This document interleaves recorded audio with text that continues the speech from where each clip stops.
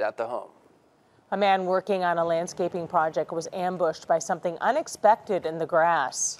I heard a shh, you know, at that point, I knew it was a, a rattlesnake. The snake slithering near the new Braves spring training stadium in North Port bit Earl Erstead in the shin. Coworkers rushed him to the hospital. NBC2's Claire Lavazorio talked to Erstead from his hospital bed about his long recovery ahead. Earl Erstead was working behind the new Atlanta Braves stadium Saturday morning when he got the shock of his life. No rattle, no warning. Walking through chest high shrubs to install a fence changed Earl Erstead's life forever. I uh, was on my way back to my coworker and felt a, uh, a slap.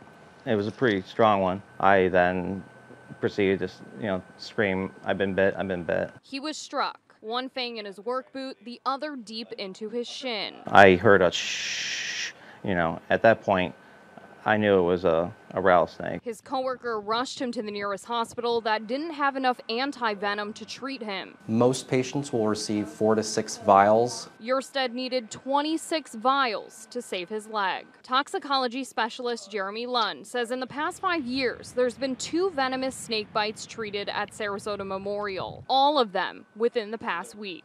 It's been a little overwhelming, but with the help of everybody and the, the positive people around me, and you know, it's just been a good.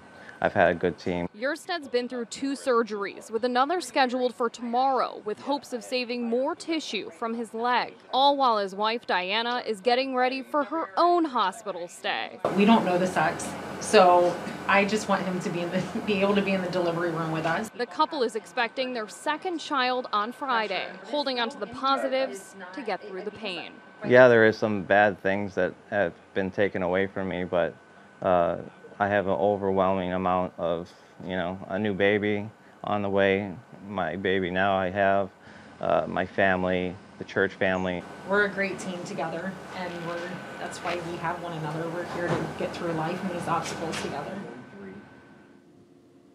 The specialist we talked to at Sarasota Memorial Hospital tells me July is a very active time for rattlesnakes. And if you are bit, time is of the essence. So you'll need to head to the nearest ER as soon as possible. I'm reporting live in North Port. Claire Lavazorio, NBC2. Fort Myers police say crime is down in